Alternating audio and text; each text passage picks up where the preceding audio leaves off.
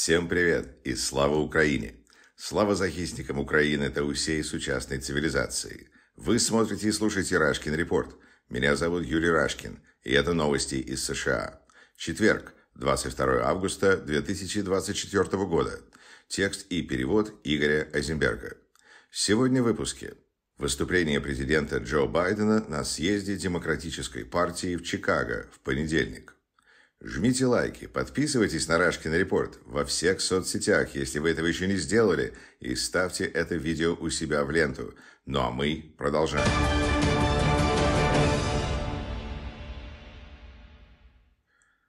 В понедельник вечером в Чикаго открылся предвыборный съезд Демократической партии. Главным событием первого дня съезда стало выступление президента Джо Байдена – Президент выступил последним из ораторов первого дня работы съезда, и перед его выступлением его очень трогательно представила его дочь Эшли. Выступление Джо Байдена было очень ярким. Возможно, лучшим из его публичных выступлений. Возможно, одним из лучших. И оно точно заслуживает того, чтобы с ним ознакомилось как можно больше людей. Поэтому предлагаю вам Поэтому мы предлагаем вам почти полный перевод, лишь с небольшими сокращениями. Цитата. Зал. Спасибо, Джо. Спасибо, Джо. Спасибо, Джо. Президент. Спасибо, спасибо, спасибо. Я скажу вам вот что. Моя дорогая Эшли, Бог тебя любит.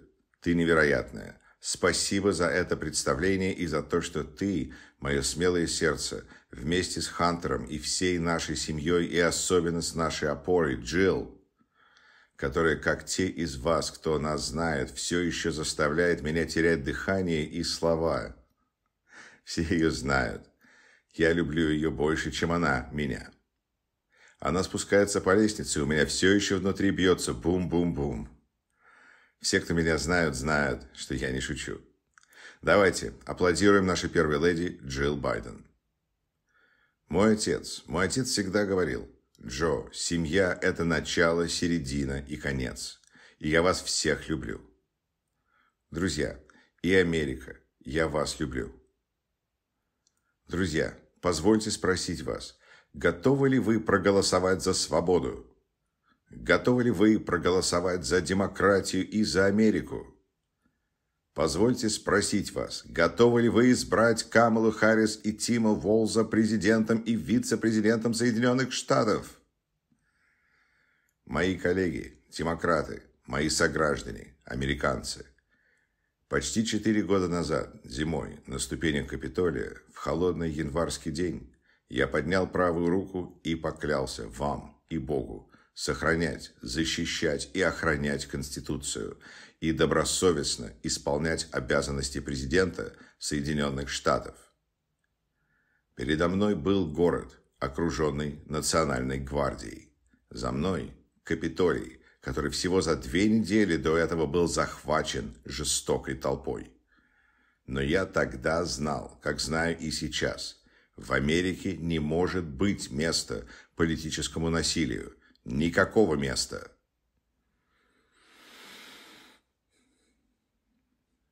Нельзя говорить, что любишь свою страну только когда побеждаешь. В тот момент я не смотрел в прошлое, я смотрел в будущее. Я говорил о работе, которую нужно выполнить, о моменте, который нужно встретить. Это была, как я вам тогда сказал, зима опасностей и возможностей. Мы были в плену пандемии, которая бывает раз в столетие, в плену исторически высокой безработицы, звучали давно назревшие призывы к расовой справедливости. И мы были в плену очевидных и непосредственных угроз для нашей самой демократии. И все же, и все же я верил тогда и верю сейчас, что прогресс возможен, справедливость достижима, и наши лучшие дни не позади, они впереди. Сейчас лето, зима прошла, и с благодарным сердцем я стою перед вами, сейчас, в этот августовский вечер, чтобы сообщить, что демократия восторжествовала. Демократия принесла плоды. И теперь демократию нужно сохранить. Вы уже слышали, как я это говорил. Мы стоим на пороге поворотного момента, одного из тех редких моментов в истории, когда решения, которые мы принимаем сейчас, определят судьбу нашей страны и мира на десятилетия вперед. Это не гипербола. Я говорю это буквально. Мы сражаемся за саму душу Америки. Я баллотировался на пост президента в 2020 году из-за того, что увидел в Шарлоттсвилле в августе 2017 года. Экстремисты, выходящие из леса с факелами, с выступающими венами на шеях, несущие нацистские свастики и выкрикивающие те же самые антисемитские лозунги, которые звучали в Германии в начале 30-х годов. Неонацисты, белые супрематисты и Куклукс-клан настолько укрепились при президенте, который тогда был в Белом доме и которого они считали своим союзником, что даже посчитали ненужным надеть капюшоны, чтобы скрыть свои лица. Ненависть маршировала по Америке.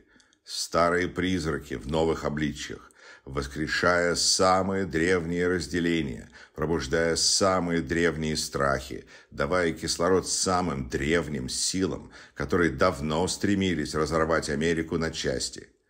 В результате погибла молодая женщина. Когда я связался с ее матерью, я спросил, что произошло. Она рассказала мне. Когда тогдашнего президента спросили, что он думает о случившемся, Дональд Трамп сказал, и я цитирую, что там с обеих сторон были очень хорошие люди.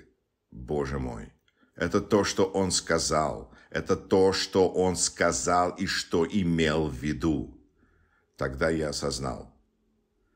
Прислушавшись предостережению моего покойного сына, я не мог оставаться в стороне. Поэтому я решил баллотироваться. Потому что у меня до этого не было намерения снова участвовать в выборах. Я только перед этим потерял часть своей души. Президент имеет в виду смерть своего сына Бо. Но я пошел на это с глубокой уверенностью в Америке, которую я знаю и в которую верю. В Америку, где честность, достоинство и порядочность по-прежнему важны в Америку, где у каждого есть равные возможности, и ненависть не находит для себя места. В Америку, где основополагающая вера этой страны в то, что все мы созданы равными, все еще живет. И широкая коалиция американцев присоединилась ко мне. 81 миллион избирателей проголосовали за нас. Больше, чем когда-либо в истории. Благодаря всем вам в этом зале и многим другим мы объединились в 2020 году, чтобы спасти демократию. Будучи вашим президентом, я был полон решимости двигать Америку вперед, а не возвращаться назад. Выступать против ненависти и насилия во всех их проявлениях, чтобы мы были страной, в которой мы не только живем, но и процветаем благодаря нашему разнообразию, не демонизируя никого, не оставляя никого позади и становясь страной, которой мы хотим быть.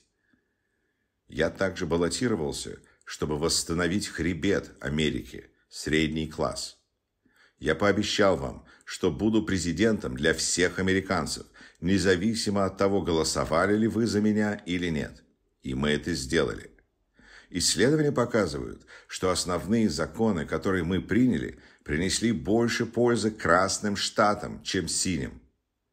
Потому что работа президента заключается в том, чтобы служить всей Америке.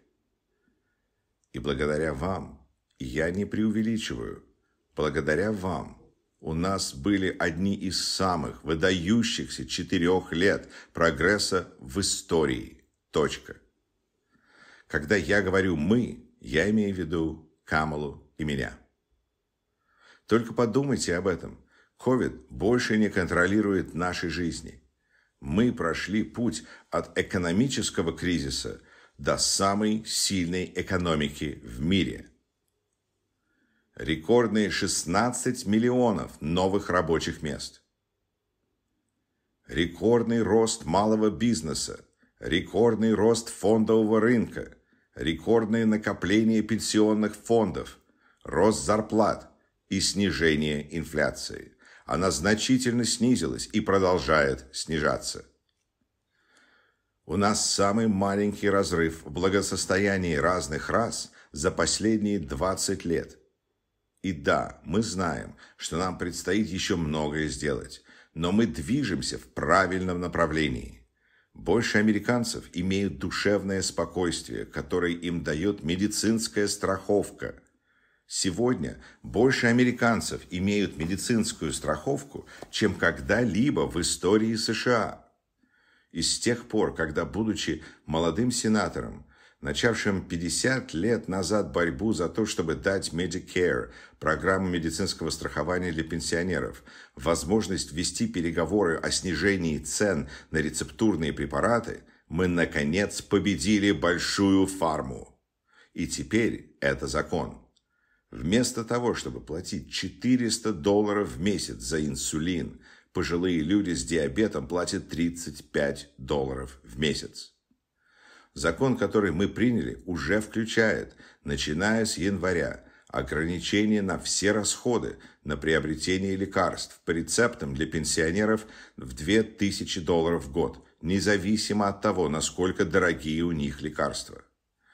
И то, на чем мы не фокусируемся, и что, кажется, не понимают наши друзья-республиканцы – Наши реформы не только экономят деньги пожилых людей, но и экономят деньги американских налогоплательщиков. Знаете, сколько мы только что сэкономили? 160 миллиардов долларов в течение следующего десятилетия. Это не преувеличение. Это потому, что Medicare больше не нужно тратить ни деньги налогоплательщиков из-за чрезмерно завышенных цен большой фарме. Послушайте, друзья, как мы можем иметь самую сильную экономику в мире без лучшей инфраструктуры в мире? Дональд Трамп обещал неделю инфраструктуры каждую неделю в течение четырех лет, но он так ничего и не построил. Но теперь, благодаря тому, что сделали Камала и я, помните, нам говорили, что мы не сможем этого сделать – Помните, когда мы пришли в офис, нам говорили, что мы не сможем ничего принять. Но сейчас мы даем Америке десятилетия инфраструктуры, а не неделю. Мы модернизируем наши дороги, мосты, порты, аэропорты, железные дороги, автобусный транспорт. Мы убираем все свинцовые водопроводные трубы из школ и домов, чтобы каждый ребенок мог пить чистую воду. Мы предоставляем доступный высокоскоростной интернет каждому американцу, независимо от того, где кто живет, как Рузвельт сделал с электричеством и многое другое. Мы объединяем страну, мы развиваем нашу экономику, мы улучшаем качество жизни. И мы строим лучшую Америку, потому что это то, кем мы являемся – как мы можем быть самой сильной страной в мире, не лидируя в науке и технологиях? После многих лет, когда 90% наших электронных микросхем импортировались из-за рубежа, хотя именно Америка изобрела их, Наш закон об инвестициях в микроэлектронику и науку привел к тому, что частные компании со всего мира теперь вкладывают буквально десятки миллиардов долларов в строительство новых заводов по производству чипов прямо здесь, в Америке. И за этот период они создадут десятки тысяч рабочих мест, и многие из этих рабочих мест будут именно на заводах по производству чипов, которые сейчас строятся. И знаете что? Средняя зарплата на этих заводах размером с футбольное поле будет составлять более 100 тысяч долларов в год. И для того, чтобы там работать, не нужно иметь высшее образование. Благодаря вам и многим избранным представителям в Америку возвращается производство. Где, черт возьми, сказано, что мы не можем лидировать в производстве? 800 тысяч новых рабочих мест создано в производстве. С каждым новым рабочим местом, с каждым новым заводом в сообщество по всей стране, которые были забыты, возвращаются гордость и надежда. Вы это знаете. Многие из вас приехали из таких мест. Вы знаете, как это тяжело, когда закрывается завод, на котором работали ваши мама, папа, бабушка или дедушка. А теперь вы возвращаетесь, вновь доказывая, что Америку построила не Уолл-стрит, Америку построил средний класс. Помните, нам говорили, что мы ничего не сможем сделать, потому что мы ничего не сможем принять в Конгрессе. Но с вашей поддержкой мы приняли самый значительный закон об инвестициях в зеленую энергетику в истории человечества на сумму более 370 миллиардов долларов. И как, как мы можем быть величайшей нацией в мире без лучшей системы образования в мире? Дональд Трамп и его республиканские друзья не только не умеют думать, но и читают не очень хорошо. Серьезно, подумайте об этом. Посмотрите на их проект 2025. Они хотят ликвидировать Министерство образования. Во время пандемии Камала и я помогли штатам и городам снова открыть школы, и мы повысили зарплаты учителям государственных школ. Мы создали программы совместно с предприятиями, предоставив выпускникам школ путь к хорошо оплачиваемым рабочим местам, независимо от того, поступят ли они в колледж. Мы выполнили свое обязательство предоставить больше помощи студентам, чем когда-либо, облегчая бремя долгов и помогая миллионам семей, чтобы они могли создавать семьи, купить дом, начать строить семейное благосостояние, внести вклад в свое сообщество и развивать нашу экономику. Мы фундаментально трансформировали нашу экономику от роста сверху вниз к росту с середины и снизу вверх. И знаете, идея роста сверху вниз никогда не работала. Многие демократы думали, что это работает, но это не так. И когда теперь мы сделали все это, все могут добиться успеха. Все. Дональд Трамп называет Америку страной, который терпит неудачу.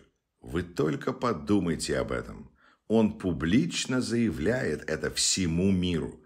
Я знаю больше иностранных лидеров по имени и знаю их лучше, чем кто-либо из ныне живущих, просто потому что я так чертовски стар. Но я не шучу. Подумайте о сообщении, которое он посылает миру, когда говорит, что Америка – проигрывающая страна. Он говорит, что мы теряем позиции. Но это он, проигравший. Он абсолютно неправ.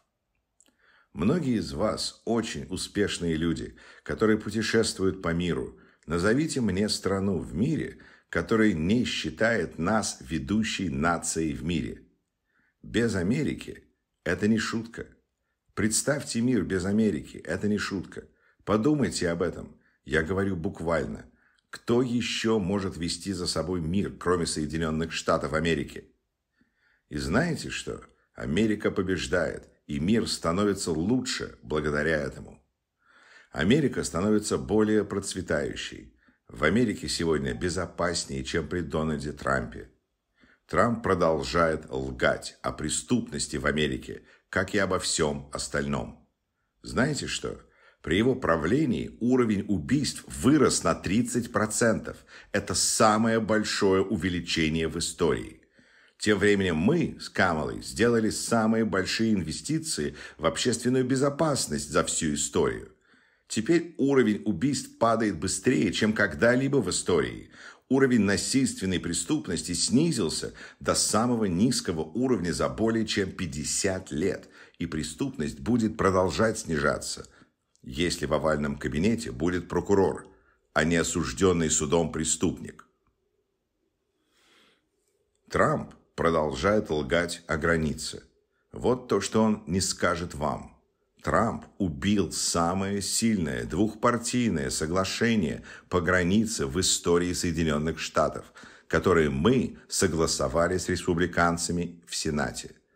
Как только оно было достигнуто, и все признали, что это было самое масштабное изменение на границе в истории Америки, он позвонил республиканским сенаторам и сказал, не поддерживайте двусторонний законопроект, потому что, по его словам, это помогло бы ему политически, а его принятие навредило бы ему политически. Боже мой! Я серьезно. Подумайте об этом. Это не шутка. Спросите даже у журналистов, которые меня не любят. Они скажут вам, что это правда. Типичный Трамп снова ставит себя на первое место, а Америку на последнее. И вот еще во что я верю. В защиту вашей свободы. Вашей свободы голосовать.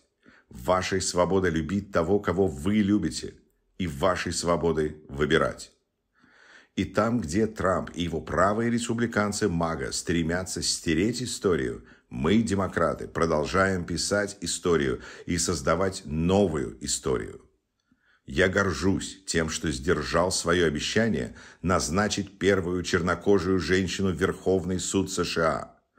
Кетанджи Браун Джексон – символ для каждой молодой женщины в Америке, что вы можете добиться чего угодно – я горжусь тем, что сдержал свое обещание иметь администрацию, которая выглядит как Америка и использует весь талант нашей страны.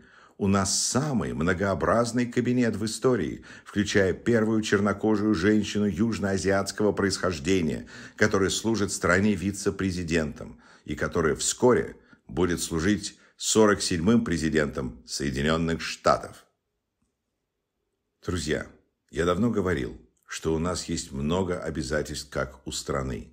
Но однажды я попал в беду, потому что сказал, и я не извиняюсь, у нас есть только одно по-настоящему священное обязательство – готовить и снаряжать тех, кого мы отправляем на войну, и заботиться о них и их семьях, когда они возвращаются и когда они не возвращаются.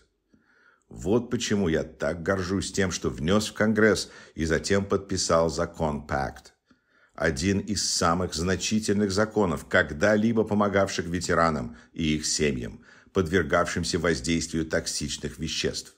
Этот закон уже помогает более одному миллиону ветеранов и членам их семей на сегодняшний день.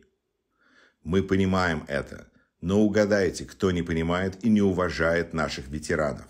Мы знаем от его собственного начальника штаба, четырехзвездного генерала Джона Келли, что Трамп, когда был в Европе, не поехал на кладбище, одно из них во Франции, где покоятся храбрые военнослужащие, отдавшие свои жизни за эту страну. Он назвал их лохами и неудачниками. Кем он, черт возьми, себя возомнил? Кто он такой?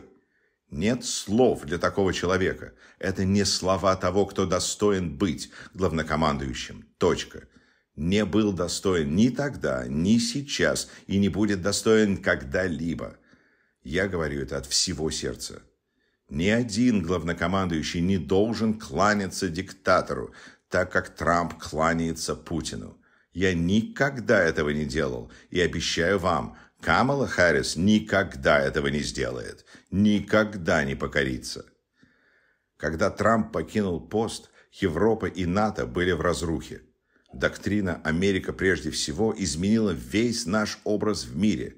Что ж, я провел в сумме около 190 часов, встречаясь со своими коллегами или главами государств в Европе, чтобы укрепить НАТО. И мы это сделали.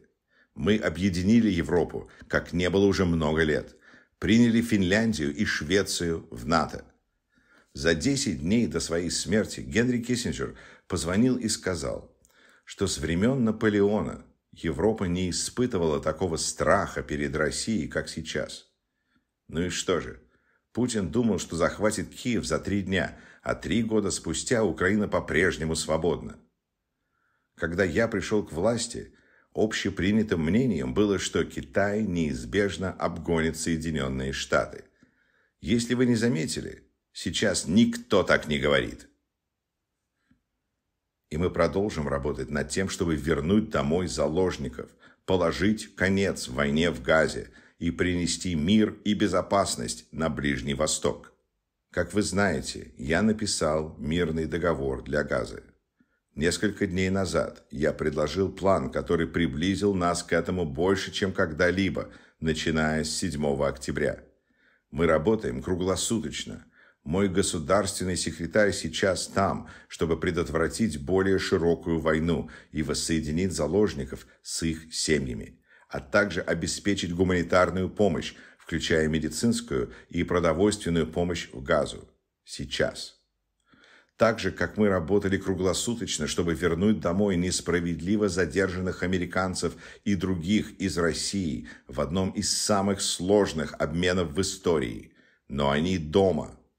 Камала и я будем продолжать работать над тем, чтобы вернуть домой всех американцев, несправедливо удерживаемых по всему миру.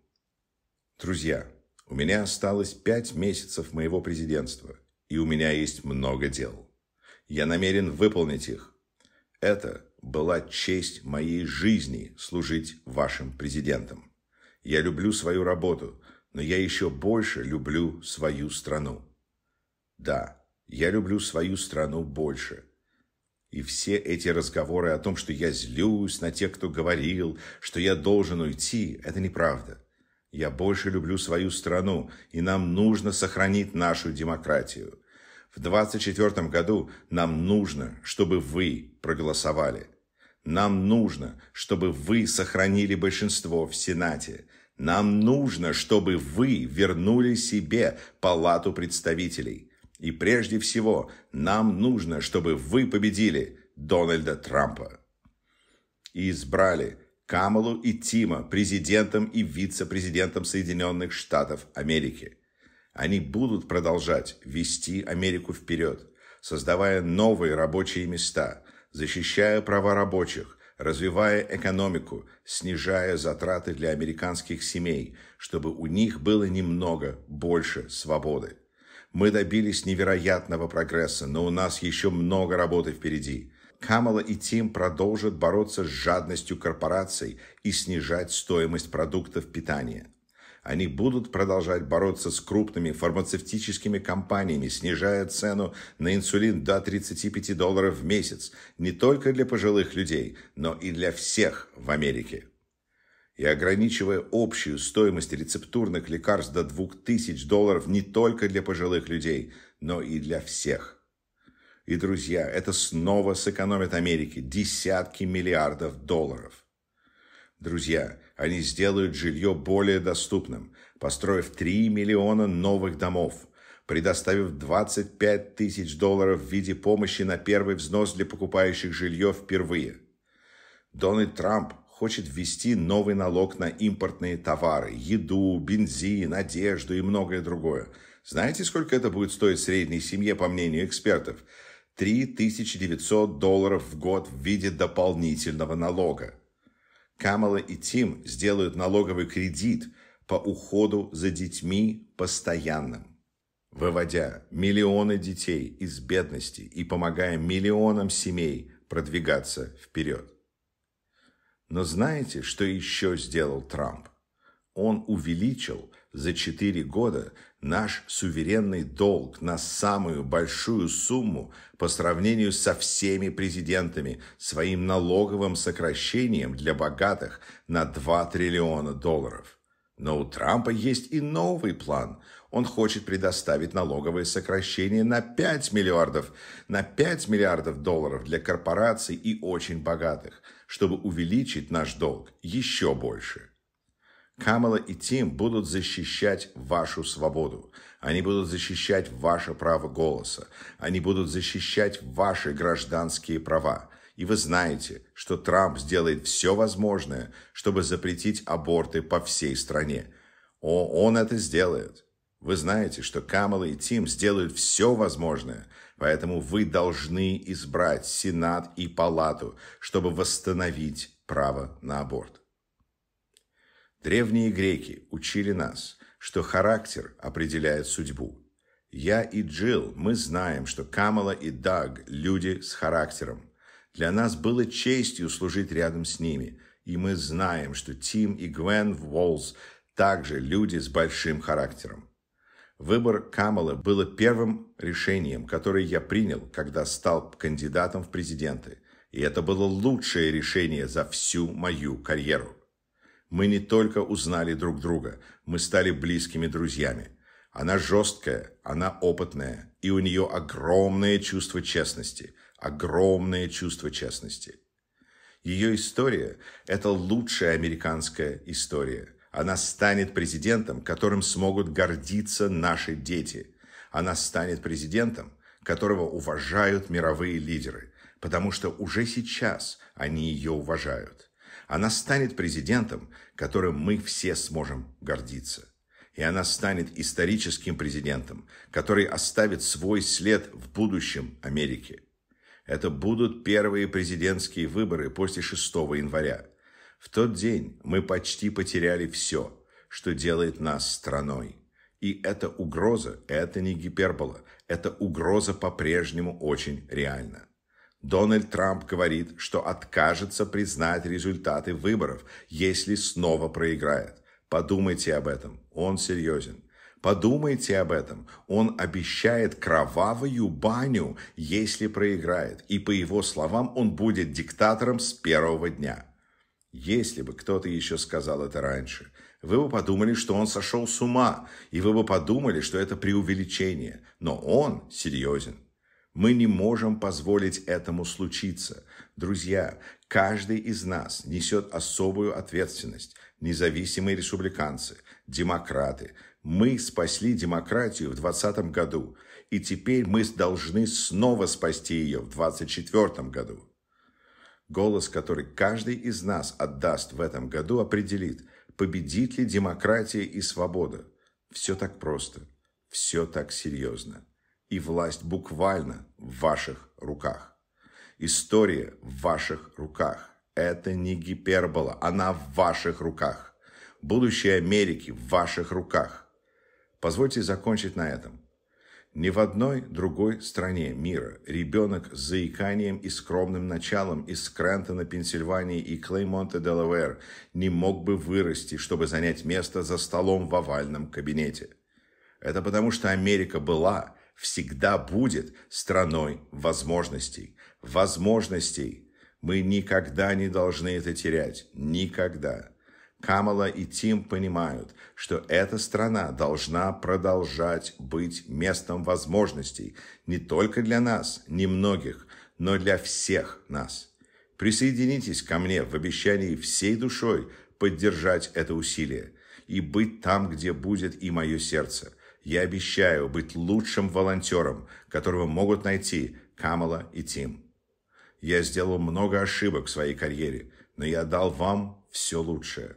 На протяжении 50 лет, как и многие из вас, я отдавал свое сердце и душу нашей стране. Я либо был слишком молод, чтобы стать сенатором, потому что мне еще не было 30, либо теперь слишком стар, чтобы оставаться президентом. Но я надеюсь, вы знаете, как я благодарен всем вам.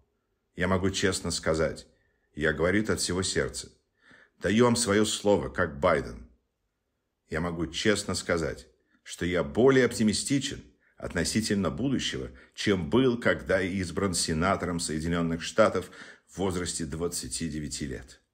Друзья, мы просто должны помнить, кто мы. Мы – Соединенные Штаты Америки. И не существует ничего, чего мы не можем сделать, когда мы делаем это все вместе. Пусть Бог благословит вас всех, и пусть Бог защищает наши войска. Спасибо.